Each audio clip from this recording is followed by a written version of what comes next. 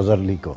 चौदहवीं सेंचुरी और अच्छा खेले हम्म। मिसबाह उलक आप कहेंगे नहीं मैं कहूँगा हाँ। इस पे हम जरा डिटेल में बात करें क्योंकि इसके ऊपर बहुत ज़्यादा जो है तनकीद मैं एक स्टेटमेंट है। मिसबाह की कल पढ़ी वो उसको कोट करना चाहता हूँ। जी। उसने कहा लोग जितना मर्ज़ी मुझे टुक टुक कहते रहे। मैं जिस तरह चाहूँगा उस तरह खेलूँगा। ये मिसबा की स्टेटमेंट है। अच्छा। जनाब। बट चलिए this is what he says and what he feels right पर एज एन एनालिस्ट अगर आप उनकी परफॉर्मेंस को एनालाइज करें तो आप क्या कहेंगे? For the team right now उनका मोहतात होकर खेलना ये सही है? क्योंकि इन द प्रीवियस मैच जब हम बात करें तो हम कहते हैं हम ज़्यादा ही कॉशियस हो गए थे। देखिए बात ये है कि उसका अपना एक आर्गूमेंट भी बहुत जगह पे मैंने देखा है। कि जब मैं आता हूँ तो 20 पे तीन आउट हुए होते हैं 25 पे चार आउट हुए होते हैं तो 50 पे पाँच आउट हुए होते हैं। अब उस टाइम पे question is the best weapon जो कि होना चाहिए।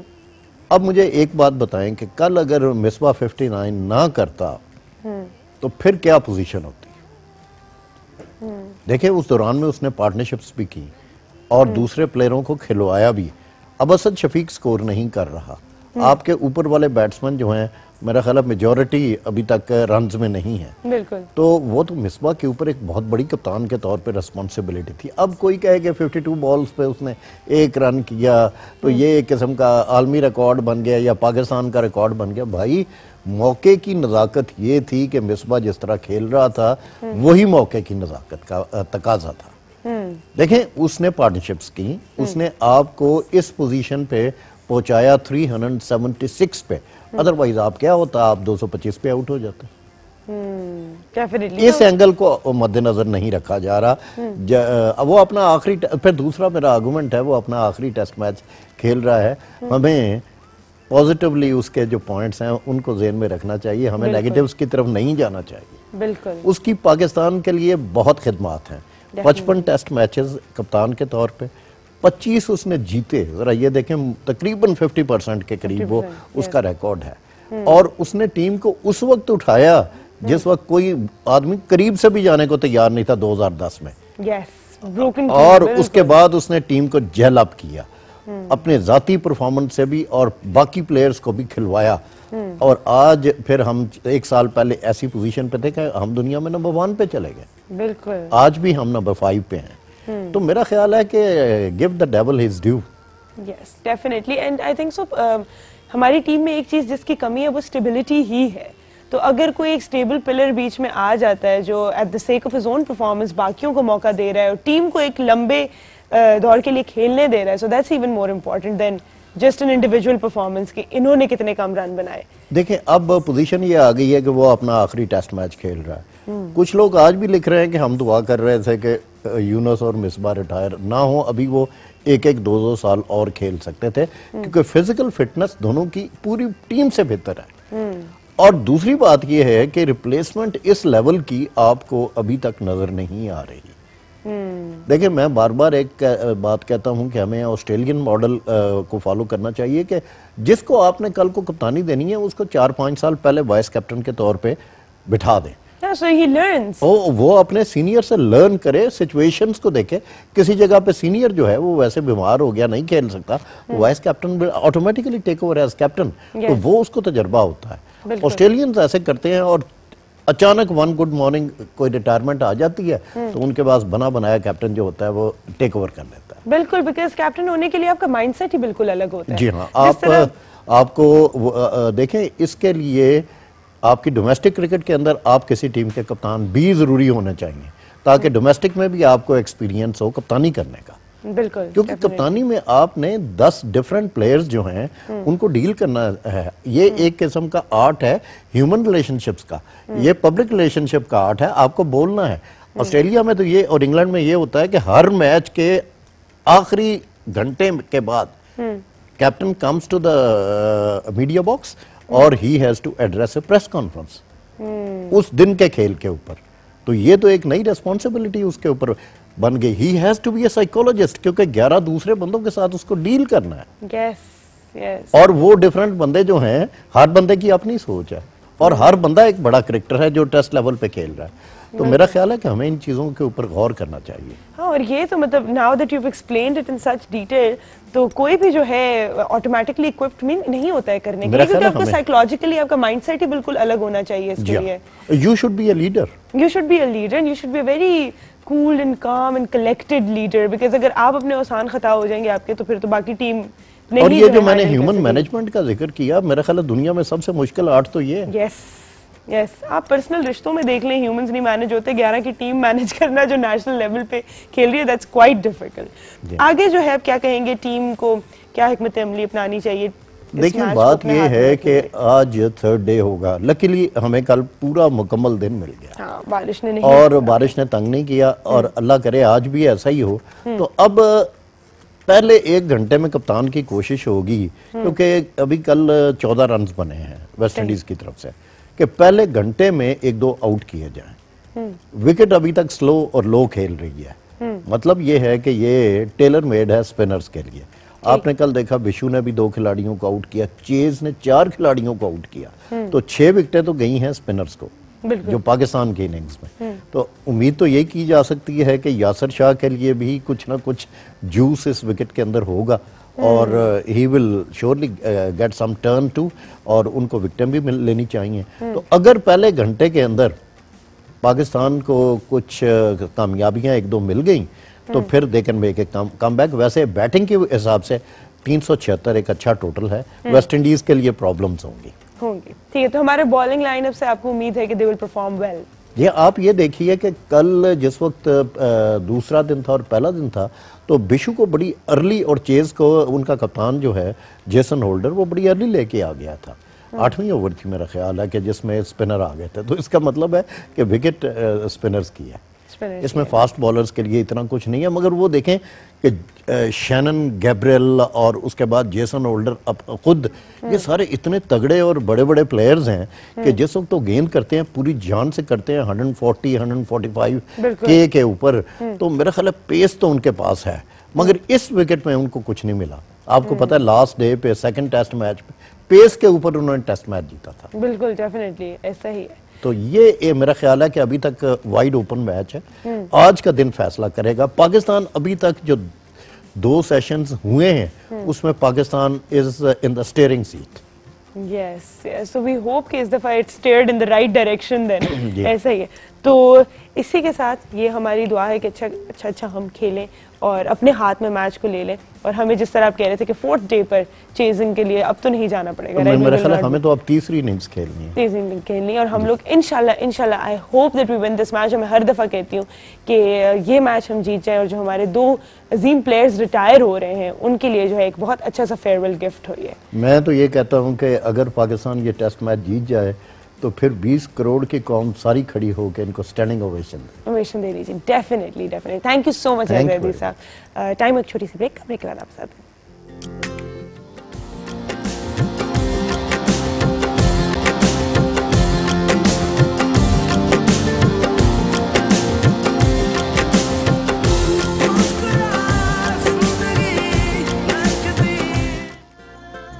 Welcome back to make the morning. हमें ज्वाइन किया है किरण ने। अस्सलाम वालेकुम। वालेकुम सलाम। क्या हाल है? मैं ठीक ठाक आप कैसी हैं? बिल्कुल फिट फिट फाट अच्छा जी आज हम कर रहे हैं upper body workout upper body वाला ठीक है तो उसमें क्या कुछ इंक्लूड होता है? अपर बॉडी आपके सबसे पहले आर्म्स है ठीक है। बैक है जिनके आ, ऐसे सेगी सा बनती है ना हाँ, बैक हाँ, साइड हाँ, से हाँ, ना तो। फ्लबी से वो है और स्पेशल आपका ट्राइसेप जैसे बाइसेप ट्राइसेप कहते हैं ठीक है, तो इनके लिए मैंने आज टमी तो तभी के. एब्स को तो मैंने बताया था लास्ट डू यू रिमेम्बर मैंने स्पेशल उनके बताए थे तो आज अ, क्योंकि टाइम भी तो कम है ना तो इस वजह से फिर स्पेसिफिकली तो। बताना पड़ता और आपको पहले भी किरण ने बताया था कि आपने सारी एक्सरसाइजेस ऑल्टरनेटिव डेज़ पे करनी है। से एक दिन आपने एब्स की कर ली अगले दिन आपने अपर बॉडी कर ली फिर फुल बॉडी कर ली। जैसे मंडे ट्यूसडे वेडनेसडे से इसी तरह एवरी जो मसल है हम उसी पे वर्कआउट करते हैं। तो हर मसल का अपना एक कॉम्बिनेशन होती है। बिग मसल हमारी बॉडी में कोई बिग होता है कोई स्मॉल होती है जो उसको फिर हम एक कंबाइन करते हैं। जैसे अब अगर बैक है जो चेस्ट है ना जो उसको पेक्टोरियल कहते हैं वो पेक्टोरियल थोड़ा सा कम है और बैक जो हमारे बिग मसल्स है सेकंड बिग मसल तो जो फ़र्स्ट बिग बिग मसल है वो हमारे लेग्स उसकी मसल्स होती हैं ठीक है। उसी तरह उसके जितना बिग मसल है उसकी उतनी वर्कआउट ज़रूरत होती है मतलब ज़्यादा होती हैं। तो उनकी टाइमिंग और एनर्जी की भी ज़रूरत होती है। जिन लोगों ने ज़्यादातर मैं आपको एक टिप्स बताऊँ जो जिस दिन उन्होंने लेग्स की एक्सरसाइज किए हुए ये सब के लिए ना स्पेशल सो वो ज़्यादातर कोशिश करें कि अपना प्रोटीन इनटेक ज़्यादा रखें। ठीक है। जो और प्रोटीन भी और साथ साथ वाटर बहुत ज़्यादा इम्पोर्टेंट है क्योंकि आपको ब्रेक डाउन होने में प्रोटीन को ब्रेक डाउन होने में बहुत ज़्यादा वो वाटर के इंटेक ज़्यादा ज़्यादा चाहिए होती है। वैसे भी जब आपने है। और इसका मतलब नहीं कि आप बड़े बड़े ग्लास पीना शुरू कर दें थोड़ा थोड़ा पानी जो है एवरी टेन मिनट्स या फिफ्टीन मिनट्स आपने वन वन दो सिप वाटर पीना है और हर वक्त आपने पीना है। इस तरह नहीं कि बिल्कुल आपने एक दफ़ा उठा के फिर एक गिलास से दे लिया नो आप अपने पास बोतल रखे और बस पानी पीते रहे। डिहाइड्रेट नहीं हो जाएँगे आप। सही है स्टार्ट करें स्टार्ट कर दीजिए। ओके जी। मैंने कहा और करा दिल खोल के एक्सरसाइज करें। किरण का हमेशा शिकवा होता है कि योगा भी थोड़ा जो है ज़्यादा टाइम के लिए होता है और उस माइंड सेट में आने का मसला होता है। एक्सरसाइज भी थोड़ी लंबी होती है आप इतनी जल्दी जो है कट हाँ, ऑफ़ कर देते हैं। आज- मैंने कहा फुल फुल होगी आज? यस आज हो गया full। ज़बरदस्त, मैं कहा बहुत से कुछ क्वेश्चंस जो है ना वो भी वैसे मुझसे अक्सर पूछते रहते हैं तो फिर मैंने कहा वो भी सारा जो है सारा जो दें। बता तो आज हमने आपको अपर बॉडी वर्कआउट बताया है जिन भी स्पेशली आप जब वेट लूज करते हैं तो आपकी जो ये वाली स्किन होती है ये ढीली हो जाती है बैक पे स्किन जो है वो थोड़ी आपकी जो लटक जाती है तो ये सब कुछ जो है वापस सेट करने के लिए अपर बॉडी फिर आपने ऑल्टरनेटिव डेज़ पे जो है जो जो हम आपको एक्सरसाइज बताते हैं वो करती रहनी है थैंक यू सो मच अच्छा यू आर वेलकम एक बात है कि सबके कहते हैं कि मेरा वेट ना एक जगह स्टक हो गए ठीक है?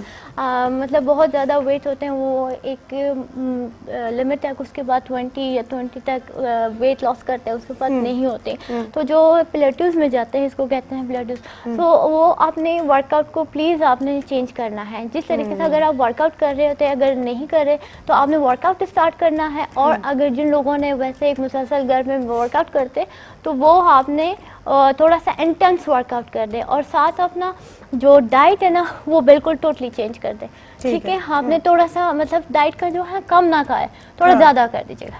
ठीक है मतलब आपने अपनी जनरल रूटीन जिससे आपकी बॉडी यूज़ टू होगी वो चेंज करनी है। Thank you so much time छोटी सी ब्रेक का ब्रेक करता आपसे।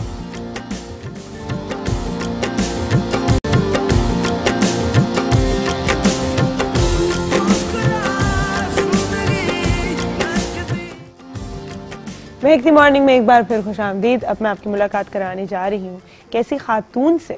जिन्होंने हालात ने जब साथ नहीं दिया तो उसके वो अगेंस्ट हो गई और वो ज़्यादा जो है मैं कहती हूँ, जो लोग अपनी इस तरह की हालात से स्ट्रेंथ डिराइव करते हैं और उस स्ट्रेंथ को अपना बनाकर उसके बाद वो आगे जाके वो कुछ कर दिखाते हैं ज़िंदगी में, जो शायद एक नॉर्मल इंसान जिसको सारी आसाइशें जो है मुयसर हों, सब कुछ मिला हो, सारी सपोर्ट मिली हो, वो भी शायद नहीं सोचता या नहीं कर सकता। ऐसी ही खातून से भी मैं आपकी मुलाकात कराने जा रही हूँ। ये पोइटिस हैं राइटर हैं कॉलमिस्ट हैं सोशल वर्कर हैं फॉरेन अफेयर्स एक्सपर्ट हैं। इसके अलावा लॉयर भी हैं क्योंकि इन्होंने एलएलबी किया हुआ है। एक शो भी होस्ट करती हैं और बहुत कुछ है जो मैं इनसे पूछूँगी कि ये इतनी सी उम्र में क्या जज्बा था जो ये सब कुछ कर लिया। आप लोग सिर्फ़ ना ही इन्हें अफशा मलिक के नाम से बल्कि कंवल रानी के नाम से भी जानते होंगे जो रेडियो के सुनने वाले हैं। वालेकुम वालेकुम अस्सलाम। कैसी हैं आप? ठीक सुंदर। बहुत शुक्रिया। आपने मैं बुलाया इनवाइट किया। बहुत बहुत शुक्रिया कि आप यहाँ पर तशरीफ़ लेकर आई हैं। I am honoured to meet you और ऐसी स्टोरीज आई थिंक सो मैं हमेशा बहुत ज़्यादा सपोर्ट करती हूँ। I want people to know I want these people to come on my show you know and talk to people पता नहीं कितनी इस तरह की बच्चियाँ हैं जिस पर वक्त टीवी देख रही हैं जो इंस्पायर होंगी ये सुन के। तो I will start with your story कि सबसे पहले तो बैकग्राउंड में जाना बहुत ज़रूरी है जहाँ से आपको ये जस्तजू जो होती है सब कुछ करने की मिली। Your family was not very supportive studies में। इज़ दैट ट्रू उसकी रीज़न ये थी कि जैसा कि हमारे जो इलाका चकवाल से ताल्लुक़ है ठीक हमारा तो उसमें वहाँ पे लड़कियों को नहीं पढ़ाया जाता। कहते जी रुक्का लिखना आ जाए ख़त लिखना आ जाए तो इतना काफ़ी होता है। अच्छा। तो हमारे मतलब सेकंड लास्ट दस बहन भाई हम सात भाई माशाल्लाह से उस नवा नंबर हमारा था। अच्छा। तो उसमें ये था कि भाइयों को जब उनके टीचर पढ़ाने आते थे ट्यूशन तो हम वो सबक याद कर लेते थे। अच्छा। तो उन्होंने फिर जो हमारे सर थे बागली नाम था उनका दुनिया में नहीं है लेकिन हम उनको याद करते हैं आज भी। तो उन्होंने हमारे अ, अ, से कहा कि आप मलिक साहब आप ना अपनी बेटी को ज़रूर पढ़ाएँगे तो बहुत लायक है बहुत। तो अबू ने कहा चलो ठीक है पाँच जमातें पढ़ा लेते अच्छा। फिर हमारे स्कूल में एडमिशन हुआ लेट हुआ हालाँकि। अच्छा। जब स्कूल में एडमिशन लेने गए तो उन्होंने कहा जी दूसरी क्लास में बिठाए बच्ची तो बहुत लायक है। अच्छा। इसको तो बहुत कुछ आता है। पाँचवीं के जब बोर्ड के इम्तिहान होता है जैसे कि पंजाब में भी सिंध कराची में पैदा हुए हैं तो वहाँ पे जब बोर्ड के एग्ज़ाम हुए तो पहली पोजीशन आ गई हमारी। अच्छा। कराची बोर्ड अच्छा। तो फिर अब्बू को ख्याल आया कि नहीं अब इसको तो मैट्रिक भी करा ही लेते हैं। हाँ ये पढ़ने वाली बच्ची है पढ़ रही है मेहनत कर रही है। बस फिर वहाँ के हालात ऐसे फिर अब्बू की डेथ होगी। हमारा छठी में छठी क्लास में पहला दिन था कि अब्बू की डेथ होगी। अच्छा। फिर भाई बड़े थे फिर उन्होंने कहा जी नहीं जी जैसे होता है कि नहीं बस आठवीं के बाद जो है ना जैसे स्कूल में पढ़ते थे आठवीं तक था। अच्छा। उसके बाद रीजन क्या थी? क्यों कहा नहीं पढ़ाते थे। बस कहते थे कि लड़की औरत आज़ाद ख्याल हो जाती है फिर अपनी मर्ज़ी करने पे आती है ये रीज़न थी और कोई रीज़न नहीं। हम्म, फिर उसके बाद ये हुआ कि जो हमसे बड़ा भाई था ना काशिफ वो अब इस दुनिया में नहीं अनफॉर्चुनेटली तो उसने कहा कि नहीं मैं इसको सपोर्ट करूँगा इसको पढ़ाऊँगा। मैं फिर इस बात पे सेटलमेंट हुई कि वो हमें छोड़ने जाया करेगा जब प्राइवेट स्टूडेंट के तौर पे एग्ज़ाम दिए जाएँगे तो वो हमें लेके आना उसने छोड़ना उसकी बड़ी उसमें अच्छा फिर भी मतलब स्कूल कॉलेज नहीं जाना एज प्राइवेट स्टूडेंट खुद पढ़ के। और किसी टीचर ने नहीं। फिर अच्छा। डबल एमए तक। एज अ प्राइवेट स्टूडेंट के तौर पे हमने matric inter B M A political science M A Urdu. फिर उसके बाद घर से पर उस वक्त थोड़ी सी इजाज़त मिली कि चलिए जी टीचिंग का प्रोफेशन आप स्टार्ट कर। जब वो किया तो उससे उससे पहले हमने फिर federal public service commission pass किया। Central. Public service commission pass किया। तो फिर ये सफ़र आहिस्ता आहिस्ता पर आप रुकी नहीं कहीं पर भी किसी की भी बात सुन के आपने कहा ऐसा नहीं हो सकता ऐसा नहीं हो सकता। कि मैं गिव अप कर दूँ। फिर राइटिंग का कैसे आपको शौक हुआ कि सबसे पहले जो हमने लिखा वो 92 की बात है। When I was too young नौ साल की एज में। अच्छा। नौनिहाल मैगजीन में कहानी लिखी थी मौत के जजीरा के नाम से। हकीम मोहम्मद सईद साहब की तरफ़ से हमें अप्रिसिएशन लेटर मिला और एक मेडल मिला। अच्छा। फिर शुरू से मजमून लिखने का शौक था। ये चीज़ें फिर आहिस्ता आहिस्ता बहुत कम उम्री में। अच्छा। फिर जो पहला शेर हमने लिखा था वो अपने फादर की डेथ पे लिखा था। शायरी वहाँ से शुरू की। ये बात सच है लोग कहते हैं ना शायरी वो ज़रूर कोई आपको ज़रूर कोई शायरी कोई, हाँ। एहसास हसास लोगों का काम है। बिल्कुल बिल्कुल आप सही कह रही कोई ऐसा इवेंट आपकी ज़िंदगी में ज़रूर होता है। जो आपको एक दफ़ा हिलाता है। ये इल्हाम होता है ना। हम कहते हैं लिखना हर किसी को नहीं आता। हम्म, पढ़ तो सारे लेते हैं। ये। क्रिएशन है। बिल्कुल। आपके अंदर से जो चीज़ निकलती है वो कितनी चीज़ों को मिलके और उसके बाद वो डिलीवर होती है तो वो बड़ी तकलीफ़ कभी कभी तकलीफ़ भी इतनी ज़्यादा होती है तो हमें लफ्ज़ नहीं मिलते। उतनी तकलीफ़ बयान करने वाले। कभी कभी खुशी इतनी होती है कहते हैं नहीं लुगत में कोई ऐसा लफ्ज़ नहीं है जो इतनी शिद्दत को बयान कर सके कर सकते बिल्कुल आपने सच बात की क्योंकि जो पढ़ने वाले होते हैं हम पढ़ने वालों में से लिखने वालों में से नहीं तो वो उस वो जो चीज़ जब पढ़ रहे होते हैं तो वो अपने अंदर कोई ना कोई चीज़ उससे रिलेट कर सकते हैं। और वो बिल्कुल वो एक चीज़ फील कर सकते हैं जो अगले इंसान ने लिखी होती है। और वो एक आम इंसान जब लिखता है तो वाकई नहीं होती। तो फिर आगे जाके आपने लिखा आपने बच्चों की जो है किताबें भी लिखी हैं। तो इस तरफ़ किस तरह ये मैं आपको एक दिखाऊँगी जो इस वक्त स्कूल्स में पढ़ाई जा रही है ये उर्दू की किताब है ये भी अफशा ने ही लिखी है। तो सिलेबस रिफॉर्म करने किस तरह आपने सोचा कि मतलब मैं सिलेबस में भी एक्चुअली हमारे उस्ताद डॉक्टर अतिश दुरानी उनका नाम भी हम लेना यहाँ ज़रूरी समझते हैं। उनको स्पेशल एक टास्क दिया गया कि आप नेशनल बुक फाउंडेशन में आएँ और जो पिछले 50 सालों से किताबें पढ़ाई जा रही हैं अब ट्रेंड चेंज हो गया है। कैम्ब्रिज का पढ़ाया जा रहा है ऑक्सफोर्ड का पढ़ाया जा रहा है तो हमें पाकिस्तान को भी अपना सिलेबस देखना चाहिए रिव्यू करना चाहिए उसको दोबारा। तो उन्होंने फिर एक वर्क किया कि किस तरह के लोग लिखने वाले लेने चाहिए ताकि यंग जनरेशन में उसमें आए। तो इसमें ये भी मालिक एजाज़ की बात है सबसे कम उम्र ऑथर नेशनल बुक फाउंडेशन में। अच्छा। तो उन्होंने हमें टास्क दिया कि आप के जहन में क्या है कि सिलेबस में क्या चीज़ें होनी चाहिए खास पर स्पेशली बच्चों के लिए। तो कंटेंट भी आपने खुद डिज़ाइन जी किया जी है बिल्कुल बिल्कुल अच्छा ज़बरदस्त तो उसके बाद दो और ऑथर्स थे फिर हम थे हम तीनों ने मिलकर इसको लिखा इसके चैप्टर्स लिखे। और फिर ये अब दो सालों से पढ़ाई जा रही है रॉयल्टी मिलती है हमें इसकी और हमें उस चेक को कैश नहीं कराते हम। अच्छा। हर साल जब सेशन में किताबें दी जाती है ना स्कूल्स में तो वो हमें रॉयल्टी का चेक मिलता है उसमें अच्छा। परसेंटेज के हिसाब से। ज़बरदस्त। तो मलिक एजाज की बात है? बहुत बहुत ज़बरदस्त। जी और मैं आपको बताऊँ कि एक फेड यू नो प्रोफेशनल लेवल के ऊपर कोई कंटेंट डिज़ाइन करना जो आपके सरकारी स्कूलों में पढ़ाया जाता है it takes a lot of effort lot of intelligence और ये बिल्कुल आसान काम नहीं है। हम लोगों का इतफाक़ हुआ है एक किताब जो है जो हम इंट्रोड्यूस कराना चाह रहे थे और बहुत सारी लेयर्स होती हैं स्क्रूटनी की जिसके बाद आपको इजाज़त मिलती है क्योंकि वो हर बच्चे को पढ़ाई जाएगी हर सरकारी स्कूल में पढ़ाई जाएगी। There is a lot of responsibility so it really is a great achievement अच्छा जी मुझे बताएँ अभी आप एक किताब जो है वो लिख रही हैं राइट अभी लिख चुके हैं उसका फाइनल ड्राफ्ट कर लिया हमने। अच्छा। वो है बायोग्राफी है Turkish president Recep Tayyip Erdogan की। हम्म। तो उर्दवान का ये है कि हमने उनको पहली दफ़ा देखा 2015 में हम इस्तांबुल गए एक्सपो हुई थी वहाँ पे। एक तुम से याद उनकी आल इंडस्ट्रीज़ की एक ऑर्गेनाइजेशन है उसकी। हम्म। तो उनको हमने देखा तलावत करते हुए। खुद उन्होंने उस इवेंट में तलावत की फिर उसके बाद स्पीच की और लीडर की क्वालिटीज़ उसमें हमें ऐसे नज़र जैसे अट्रैक्ट कर रहा था। हम्म। हर बंदा ये सोच रहा था कि इससे अच्छा बोलने वाला या प्रेजेंटेबल शख्स कोई नहीं हो सकता। हम्म। फिर जब उन्होंने पता चला कि लोग पाकिस्तान से हैं बड़े प्यार से मिले उन्होंने कहा कि पाकिस्तान के लोगों की हमारे दिल में ख़ास जगह है। हम्म। तो उसके बाद बस ऐसी शौक पैदा हुआ उनके बारे में पढ़ने का। तो पढ़ते पढ़ते फिर हमने बायोग्राफी लिख डाली। तो अच्छा। अब इसकी लॉन्चिंग इंशाल्लाह इस्तांबुल में भी होगी।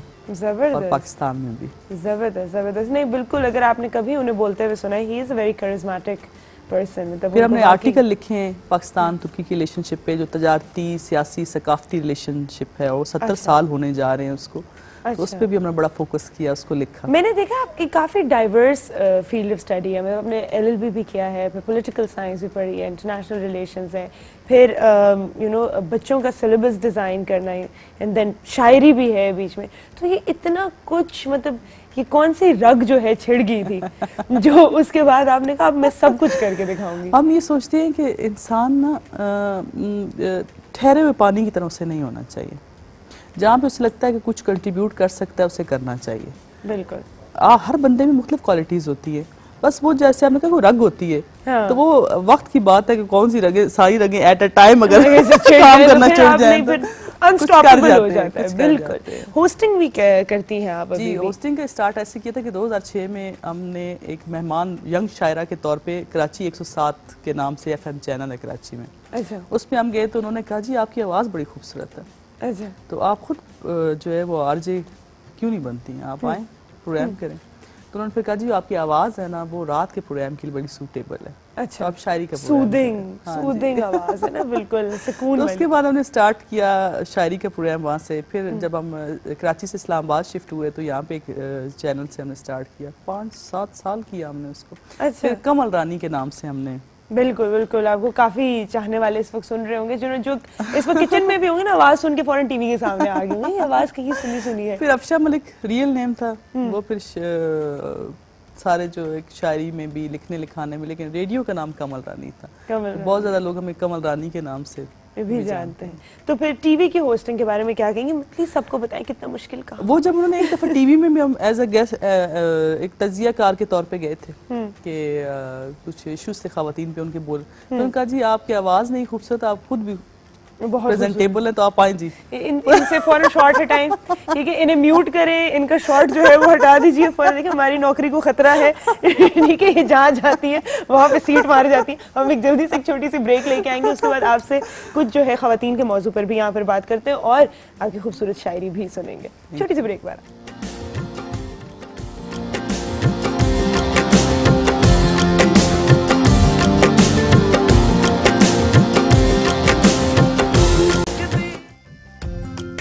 Welcome back to महकती morning where in conversation with Afsha Malik जो कि इस वक्त इंस्पायर कर रही हैं। मुझे भी बहुत सारी खातन को भी जो इस वक्त सुन रहे हैं। अच्छा मुझे बताएँ कि आपने ज़िंदगी में बहुत लॉसेस देखे हैं।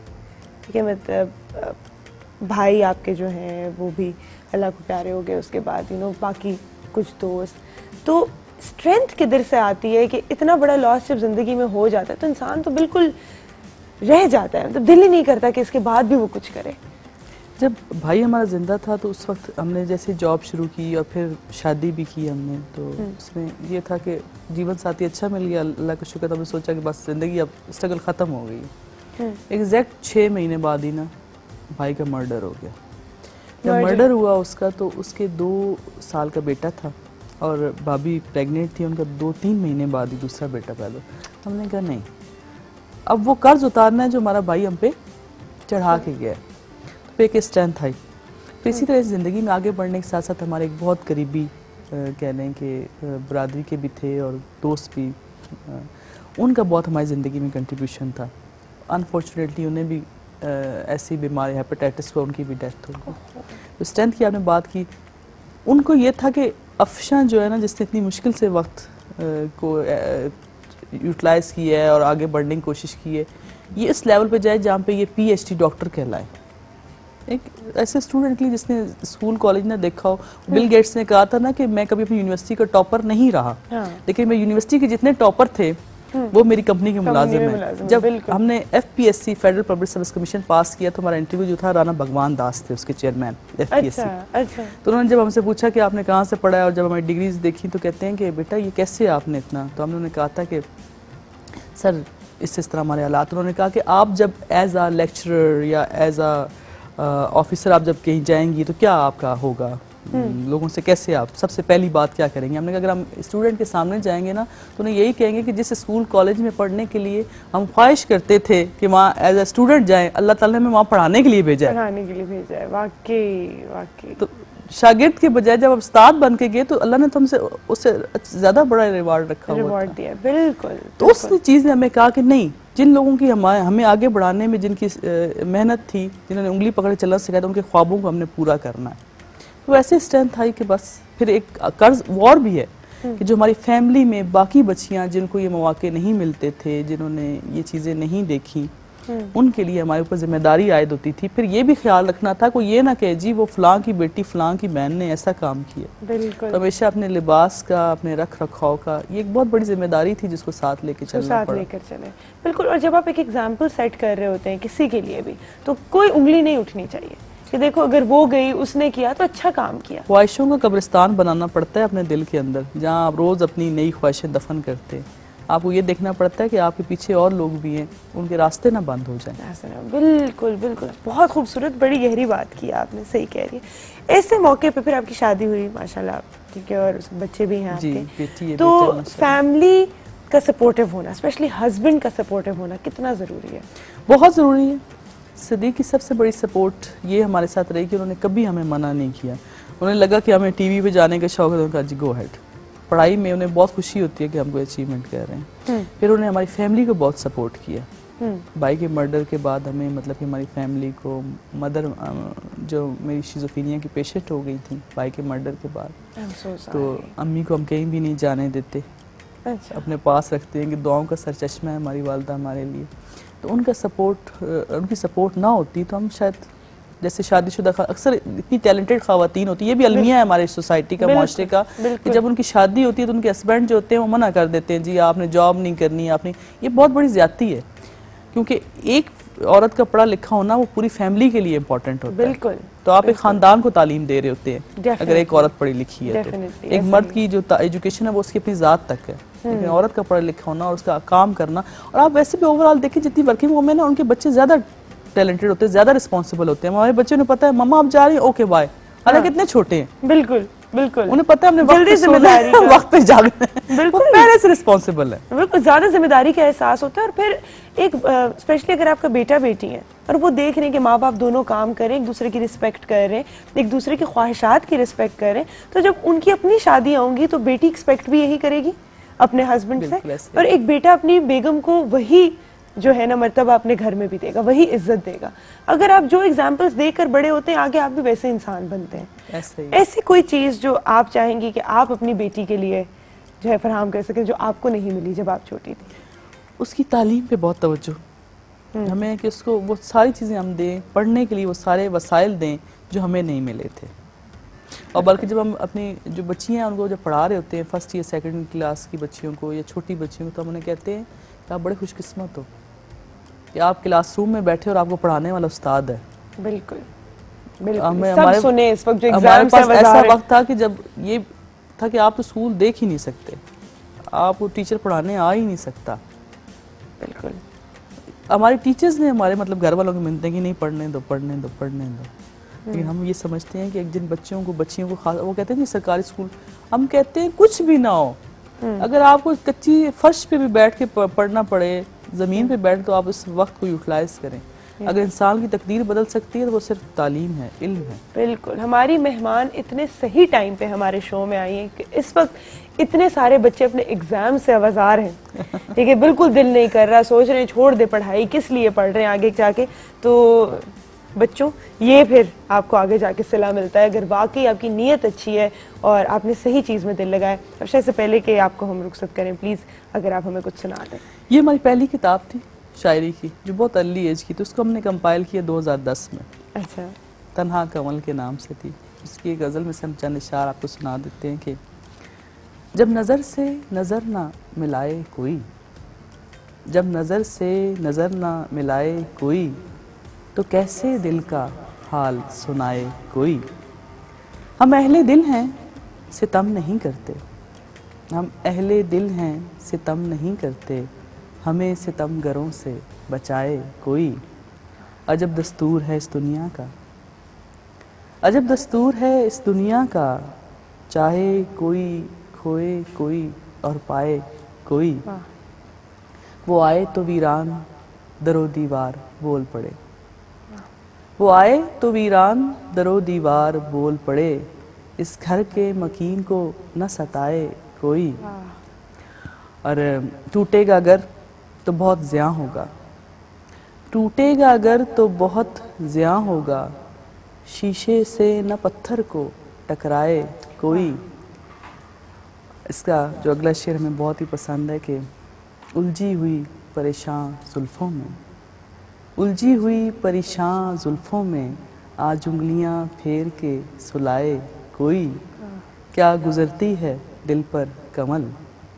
जब बुलाया हो किसी को और आए कोई। वाह वाह जब नज़र से नज़र ना मिलाए कोई। अगर आपके पास वक्त हो तो हम नज्म में हमारी एक है अभी हमने हाल ही में हमारी दूसरी किताब आई जो मैं कौन हूँ के उन्वान से है। तो हमने बिल्कुल नहीं लिखी थी तो हमने कहा हम आपसे उसको शेयर करेंगे वो शहजादा जब मुझको मिलने आएगा, वो शहजादा जब मुझको मिलने आएगा, धरती का हर जर्रा जर्रा गाएगा, मौसम पर एक बेबाकी सी छाएगी, आँखों में कुछ शोख मंजर चहकेंगे। वो, मैं मूरख, वो जान मेरी कहलाएगा, वो शहजादा जब मुझको मिलने आएगा, धरती का हर जर्रा जर्रा गाएगा।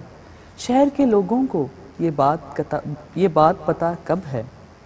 शहर के लोगों को ये बात पता कब है? एक दीवानी है, बिरहा सहती रहती है। मेरी आँख से चाहत बहती रहती है। वो, मैं उसकी, वो मेरा कहलाएगा। वो शहजादा जब मुझको मिलने आएगा। कहता है बादों की, ख्वाबों की, ख्यालों की। तस्वीर बनाकर लाऊँगा।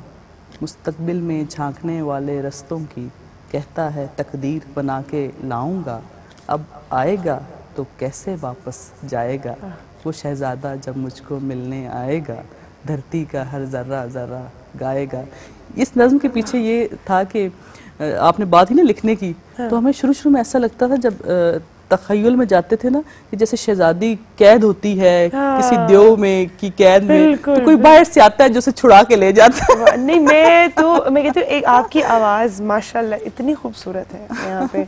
जेनवन तारीफ़ करूँगी कि आप एक ट्रांस में चले जाते हैं। तो आपकी शायरी अल्लाह करे हर किसी को नसीब हो कि आपकी ज़ुबानी सुना सुने ज़रूर एक दफ़ा। बहुत खूबसूरत। माशाल्लाह बहुत बहुत बहुत अल्लाह में आपको मज़ीद कामयाबियाँ दे। अल्लाह ताला आपको बहुत सी लोगों की इंस्पिरेशन आप हैं आप आगे भी इंस्पायर करती रहें और इन हमारे पास भी आती रहे हमसे बात बहुत शुक्रिया सुंदर बस यही हम कहना चाहेंगे कि मेहनत करने से कभी ऐसा नहीं होता कि आपको कुछ ना मिले और खातन को स्पेशली बिल्कुल। कि उन्हें हिम्मत करनी चाहिए बजाय कि हम किसी चीज़ का गिला करें वो इस शेर के साथ आपसे हम इजाज़त चाहेंगे कि शिकवा जुल्मत शब से तो कहीं बेहतर था। शिकवा जुलमत शब से तो कहीं बेहतर था। अपने हिस्से की कोई शम्मा जलाते जाते। जलाते जाते। वाह बहुत खूब। Thank you so much for बहुत शुक्रिया सुंदर आपने हमें इनवाइट किया और बातें करने का मौका दिया। Thank you so much time छोटी सी ब्रेक का ब्रेक बाद आप साथ।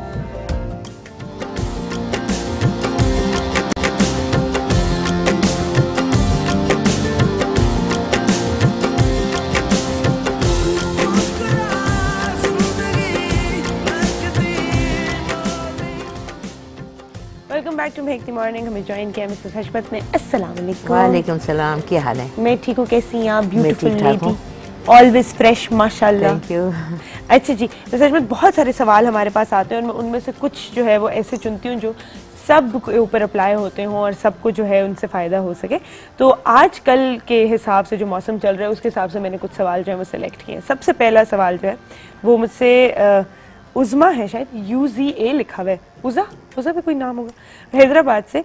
इनका पंद्रह साल का जो है बेटा है और कहते हैं उसको हैज़ा हो गया है। अच्छा। तो उसकी वजह से एक तो वो तीन दिन से उसको हैज़ा है। वो कुछ खा नहीं सक रहा है और हर वक्त सोता रहता है और बहुत चिड़चिड़ा हो गया है। तो मैं क्या करूँ? ऐसे वैसे आजकल के मौसम में बच्चा तो क्या बड़ा भी ओ आर एस ज़रूर इस्तेमाल करे क्योंकि हमारा पसीना ज़्यादा निकलता है डिहाइड्रेशन का खतरा होता है। अच्छा ठीक है। दूसरा ये कि तरबूज का मौसम है।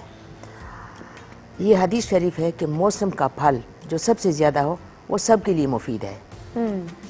तरबूज ज़रूर इस्तेमाल करें लेकिन उसका बीज जब चला जाता है तो उसकी वजह से पेट ख़राब हो जाता है या अगर उसके ऊपर पानी पिया जाए। वो तो खुद पानी है। बिल्कुल। तो वो इस्तेमाल करें। और तरबूज के लिए एक दूसरी बड़ी अच्छी बात जो है जिन जिनको मिग्रेन होता है इसके साथ तो रिलेटेड नहीं है लेकिन मैं इसलिए बताती हूँ हाँ, कि आजकल ये तकलीफ़ बहुत ज़्यादा है जि, जिसको आधे सर का दर्द कहते हैं। रात को तरबूज साबत रखें बाहर ओस में। फिर सुबह काट के उस पर जितनी काली मिर्च कूटी हुई बर्दाश्त कर सकते हैं आप पेट भर के वो खा लें। एक ठंडा नहीं फ्रिज से नहीं निकालना बाहर बाहर फ्रिज अगर है तो कोई बात नहीं लेकिन जितना बाहर रहे जो चीज़ कुदरती माहौल में इंसान को फ़ायदा देती है इतनी आर्टिफिशियल माहौल में नहीं देती। बिल्कुल तो आप उसको रखें और उसके बाद वो पूरा खा जाएँ। जितना आप खा सकते हैं। थोड़ा सा नमक चाट लेना। उसकी वजह ये होती है कि वो जल्दी पानी हो जाता है डाइजेस्ट हो जाता है। ठीक। एक घंटे के बाद नाश्ता करें। आप देखिए कुछ अरसे के बाद आपकी आधे सर का दर्द भी ठीक हो जाएगा। फिर हम आते हैं कि जिन हैजा है या पेट खराब है? अभी एक मुझसे पूछ रहे थे कि हमारे भांजे का पेट खराब है। बच्चों का अक्सर हो जाता है। तो बच्चों के लिए खट्टे के पत्ते खट्टे नारंज को कहते हैं। अगर खट्टे का दरख्त नहीं है तो आप लीमू के पत्ते भी इस्तेमाल कर सकते हैं लेकिन वो डबल अच्छा। अब मैं बताती हूँ खट्टे के पत्ते पाँच अगर खट्टे नहीं है तो लीमू के पत्ते दस। ठीक है। फिर जंगली पुदीना पाँच पत्ते। अगर जंगली पुदीना नहीं मिलता तो जो नॉर्मल पुदीना है वो दस कर लें। ठीक है। अच्छा फिर सौंफ एक बड़ा चम्मच छोटी इलायची पाँच कूट कर। ये उबाल दो कप पानी में। और ये सिप सिप पीते जाएँ एक ही दिन में आपका इंशाल्लाह पेट ठीक हो जाएगा। ठीक हो जाएगा। हैजा भी जिनको चाहे हैजा हो चाहे फ़ूड प्वाइजनिंग हो चाहे खाने के फ़ौरन बाद आपको महसूस हो के बाथरूम जाना है छोटा हो के बड़ा हो और चाहे जिसको वॉमिटिंग आए। बिल्कुल ठीक हो जाएगा और प्लीज़ आप डॉक्टर को ज़रूर दिखाइए अगर ऐसा क्योंकि आजकल फ़ौरन डिहाइड्रेशन हो जाती है। अगर आप उल्टी भी कर रहे हैं पेट भी आपका खराब है आप डॉक्टर को ज़रूर अपने आप को चेकअप करा दें। और जिस तरह उन्होंने कहा कि ओ जो है वो ज़रूर इस्तेमाल कीजिए क्योंकि जब सॉल्ट्स आपकी बॉडी में कम होते हैं उसके बाद फिर लिथार्जी भी होती है जो चिड़चिड़े हो रही है। निकल जाते हैं बॉडी से फिर डिहाइड्रेशन शुरू हो जाती है। कोई हैजे से कोई फ़ूड पॉइजनिंग से नहीं मरता इससे मरता है कि उनको डिहाइड्रेशन हो जाती डिहाइड्रेशन हो जाती है। बिल्कुल सही कहा। अच्छा एक और चीज़ मैंने कहीं पढ़ी थी ये सच है कि आपको जो क्रैम्प्स पड़ते हैं ये भी इलेक्ट्रोलाइट्स की कमी की वजह से बिल्कुल होता है। बिल्कुल। सही तो उसके लिए भी मैंने कहीं पढ़ा था कि बनाना जो होता है वो सबसे अच्छी सोर्स होती है इलेक्ट्रोलाइट्स की। बहुत ज़बरदस्त है। अच्छा हाँ। अच्छा सही तो वो भी जो है आप इस्तेमाल कर सकते हैं अच्छा एक और चीज़ मुझसे किसी ने पूछी थी कि पेट खराब होने की सूरत में कहते हैं कि बनानास का इस्तेमाल करना चाहिए लेकिन उसकी क्वांटिटी क्या होनी चाहिए? कम। अगर आपका पेट सख्त है तो आप ज़्यादा खा लें। अच्छा। आपको कॉन्स्टिपेशन दूर हो जाएगी। और अगर आपका पेट नरम है तो आप काम खा लें। ठीक है। और अगर आपको अल्सर है तो आप कच्चा केला खा लें। कच्चा केला जो थोड़ा क्रंची हो जो हाँ।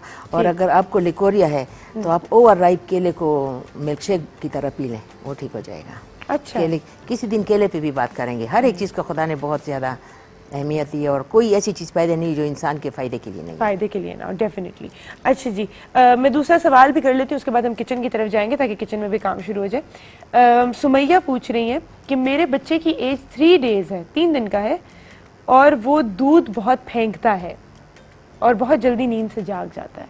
वो तीन दिन का बच्चा है? हाँ। तीन दिन के बच्चे को तो चाहिए कि वो 21 घंटे सोए। अच्छा बहुत जल्दी अच्छा, जाग जाता है अच्छा और जो बच्चा दूध फेंकता अगर वो खट्टा दूध फेंकता है तो उसका वो अच्छा है उसका स्टमक बढ़ता है। और वो अगर वो बच्चा हिकअप्स करते तो और अच्छा है उसका अंदर और भी स्टमक बढ़ता है। अच्छा हिकअप्स भी अच्छी होती बहुत है अच्छी होती है, ये तो मुझसे अभी जो है कोई पूछ रहा था आपकी भी जो है ना ये टेंशन दूर होगी होगी कि बहुत ज़्यादा हिकअप्स आती हैं इसलिए कि उसका। स्टमक बढ़ रहा है। अच्छा ठीक हाँ और अगर वो ताज़ा दूध गिराता है तो वो सही नहीं है। उसकी वजह यह है कि बच्चा तेज़ दूध सक करते तो हवा अंदर चली जाती है। अच्छा। तो वो डकार के साथ दूध निकल आता है। इसलिए बच्चे को अगर माँ का दूध पिए भी तो सीने पे हाथ रखे ताकि आस्ता आस्ता वो चूस सके और दूसरे की उसकी डकार ज़रूरी है। ठीक है एक दफ़ा आपने जो करना है। और ये बहुत जल्दी नींद से जो जाग जाता है इसका क्या करें? ये पेट में कैसे जो इसने खुद ही बता दिया कि वो दूध गिराता है। दूध या तो फिर जब दर्द होगी तो वो सो नहीं सकेगा। ठीक है तो आप ये जो है कीजिए और इंशाल्लाह बेहतर होगा। मैं जरा किचन की तरफ़ चली जाऊँ। अस्सलाम वालेकुम। वालेकुम अस्सलाम। कैसी हैं आप? बिल्कुल ठीक हूँ। ठीक ठाक जुमा बिल्कुल मुबारक आपको। शबरात मुबारक भी आपको। मुझे पता था मैंने एक मौका आपको दिया है। क्या बना रहे जी आपने मौका दे दिया। क्या बना रहे भाई आज? शबरात का दिन है तो बहुत सारे घरों में सूजी के हलवे बनेंगे पुलाव। बनेगा कई लोग खत्म दरूद दिलवाते हैं। तो उसी मुनासब से एक बहुत म, क्या कहना चाहिए क्विक सी रेसिपी है हलवा ही है बेसन का हलवा। ठीक है। बहुत घरों में बनता भी होगा ऑलरेडी लेकिन जिनको नहीं पता वो बना सकते हैं। ठीक है अच्छा मैंने सूजी का हलवा तो बनाया है लेकिन बेसन का बेसन तो का भी उसी तरह हलवा है दाल का भी उसी तरह बनता है लौकी का ही बनता है। ठीक है। लेकिन सूजी का हमेशा हर घर में 90 परसेंट लोग वही बनाते हैं। हम्म। तो चलो कभी कभी हटना भी चाहिए। तो जिनको नहीं आता उनके लिए होगा इजी होगा। कोई मुश्किल चीज़ भी नहीं है रेसिपी में भी बहुत कम सी चीज़ें हैं। हम्म। देखने में तो टेबल पे आपको काफ़ी नज़र आ रही है बाकी सारी जो है वो तो लवाजमात है ऊपर गार्निश के। ठीक है। लेकिन जो मेन इंग्रेडिएंट्स हैं वो ये चार हैं। ठीक है सही। जिसमें बेसन है। अच्छा एक चीज़ मैं मेंशन कर दूँ कि क्वांटिटी जो है ना इन चारों चीज़ों की जैसे बेसन घी चीनी और दूध ये इक्वल होती है।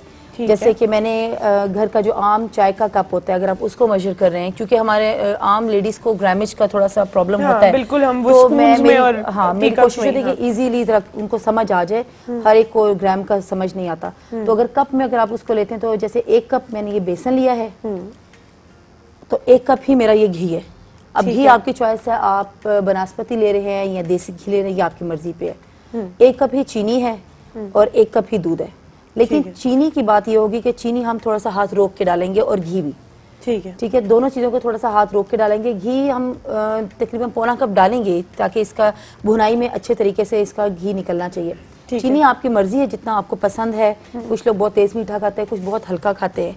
तो हम पहले पौना कप चीनी डालेंगे चख लेंगे अगर हमें लगे कि हमें ज़रूरत है इसमें और डालने की तब हम डालेंगे। ठीक है। दूध का एक कप का इस्तेमाल होगा क्योंकि जब हम पहले घी के साथ हम इसको भून लेंगे बेसन को फिर चीनी डालेंगे फिर दूध डालेंगे।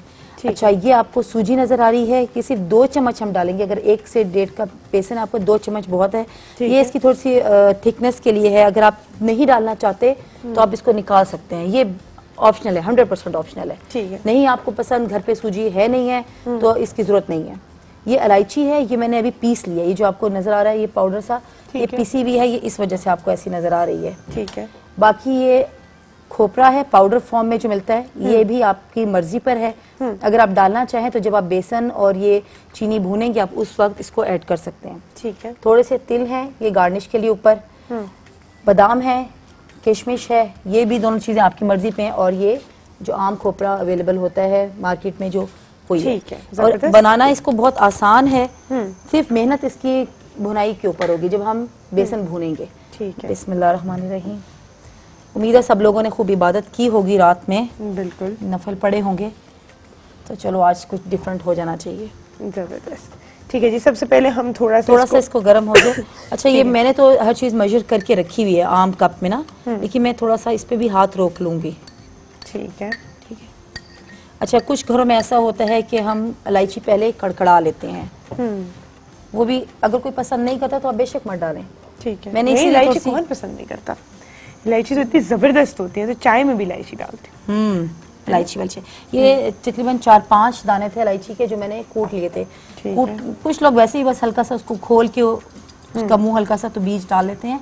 कि मैंने वैसे इसको इस तरह से उससे ज़्यादा फ्लेवर जो है वो एनहांस होता हाँ है जब इसका पाउडर बनाएँगे। अच्छा जब हम ये डालेंगे बेसन तो ये चीन ये सॉरी ये जो है सूजी ये भी हम साथ ही ऐड कर देंगे। बल्कि मैं पहले सूजी दो चम्मच ऐड कर लेती हूँ इसमें।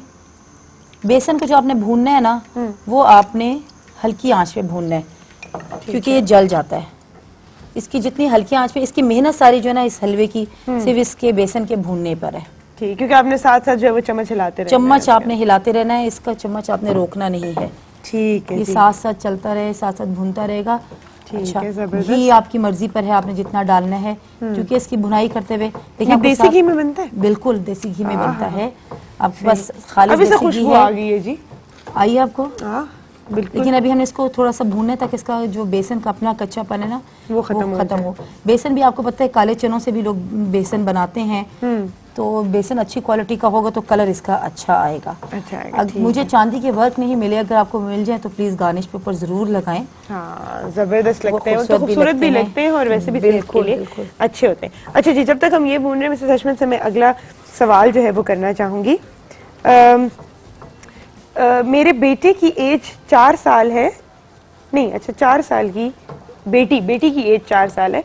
और वो बहुत ज़्यादा क्या क्या लिखा हुआ है? अच्छा अंडरवेट है। अच्छा जी, बहुत ज़्यादा अंडरवेट है और वो बहुत ज़्यादा सोती भी है। क्या हुआ? ब्रेक का टाइम हो गया। अच्छा जी, मैं सवाल पूछ लूँ, फिर हम ब्रेक पर जा रहे हैं कि चार साल की बेटी है इनकी और बहुत ज़्यादा अंडरवेट है और हर वक्त सोती रहती है। डॉक्टर ने कहा है कि इसकी एक्टिविटी बढ़ाइए। प्लीज़ कुछ बता दें। कुबरा रावलपिंडी से पूछ रही हैं। इसका जवाब आपको ब्रेक के बाद देते हैं।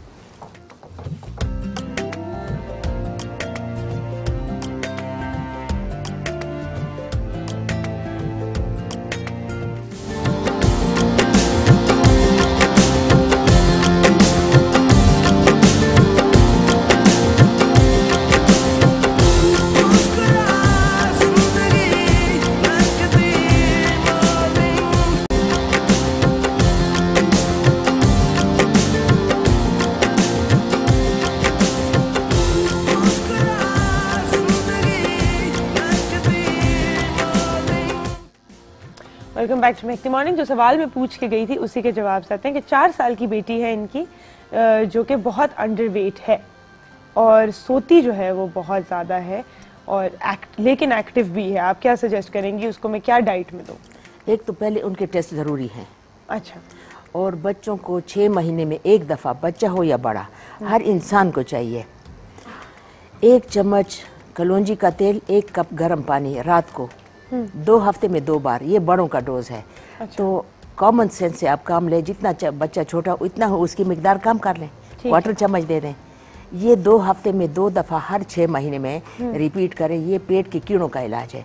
कभी अच्छा। कभी अच्छा। पेट में कीड़े होते हैं। बिल्कुल बिल्कुल। डीवर्मिंग तो आपको हर छह महीने में एक दफ़ा करनी चाहिए ठीक है? हाँ और ये कुदरती इलाज है खुराक के ज़रिए। दूसरा क्या बताया?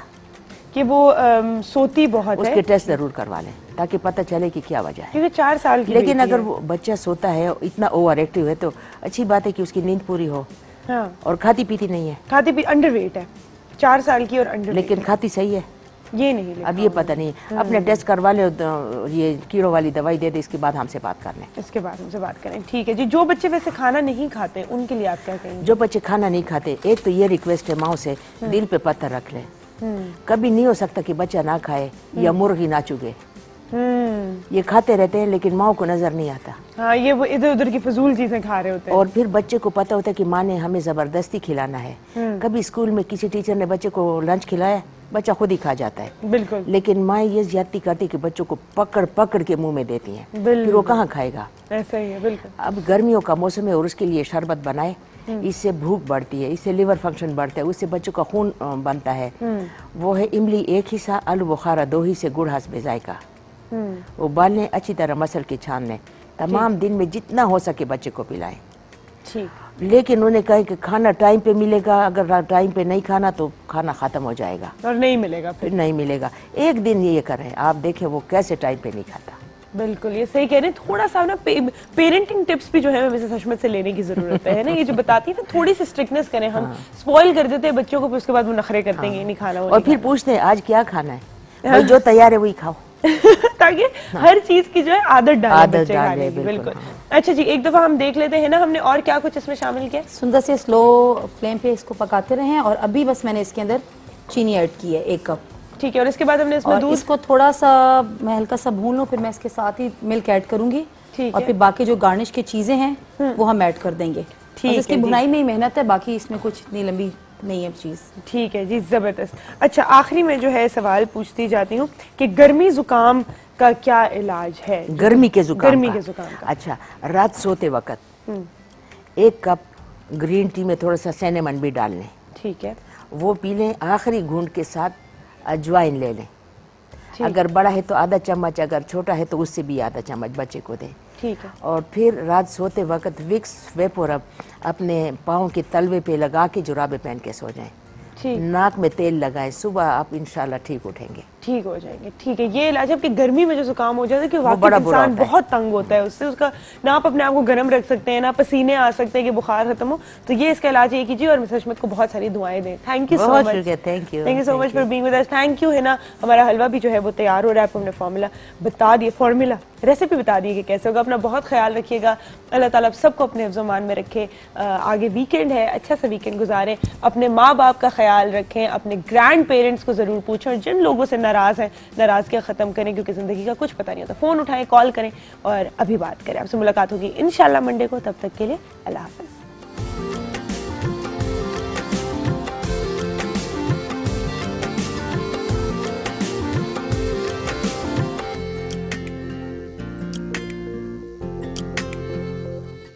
इस प्रोग्राम के लिए ताउन